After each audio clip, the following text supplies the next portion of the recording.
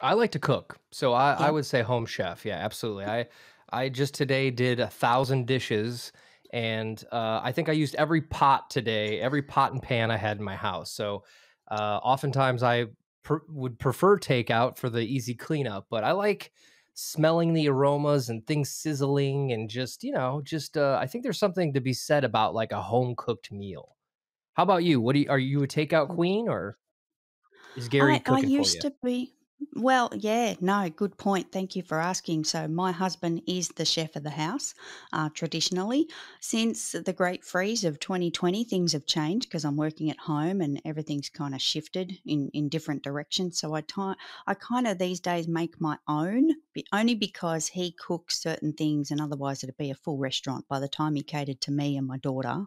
But I love takeaway, love takeaway. So I haven't been in as involved in the takeaway space since the freeze, but, um, yeah, if I could choose, I'd probably just rush and grab takeaway for the convenience and the time saving 'cause Yeah, it's yeah, no cleanup.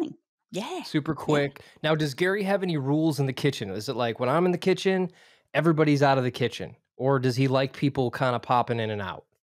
We we actually work, like, synchronized in the kitchen, like, it's really weird once we get in that space, if we're both there at the same time, we have this, like, almost like a synchronized dance going on, we move around each other and don't bump into each other, um, but I think if someone else hops in there, it gets a little bit messy because we don't don't gel well with others, so we're in unison, but if, you know, the daughter hops in, then it's not quite the same, but we've got this pattern where I cook 1st, he cooks 2nd, and daughter cooks 3rd, so we're all kind of in and out at different stages Okay. most of the time, yeah.